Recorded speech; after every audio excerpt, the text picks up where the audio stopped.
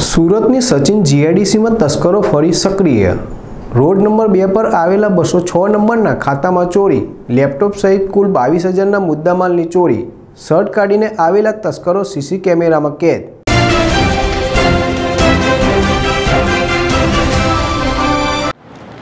Sachin GIDC વિસ્તારમાં lockdown ખુલતા જ તસ્કરો ફરી સક્રિય થયા છે. જીઆઈડીસીના રોડ નંબર બે પર આવેલા ખાતા નંબર બચ્છો સોમાં રાત્રિના સમયે તસ્કરોએ હાથ ફેરો કર્યો છે.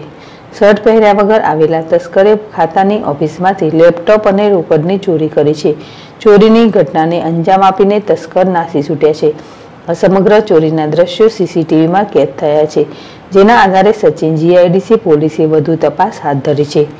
દરવાજાનું તારું તોડી અંદર આવેલા સચિન જીઆઈડીસી પોલીસ મથકેથી મળતી વિગતો અનુસાર, સચિન જીઆઈડીસીમાં ખાતું ચલાવતા સંજય શિવમૃતલાલ માથુર મૂળ વતન આઝમગઢ વીપીના ખાતા નંબર બસો સોમાં અજાણ્યા ચોરીસમ ખાતાના દરવાજાનું તારું તોડી પ્રવેશ કર્યો હતો.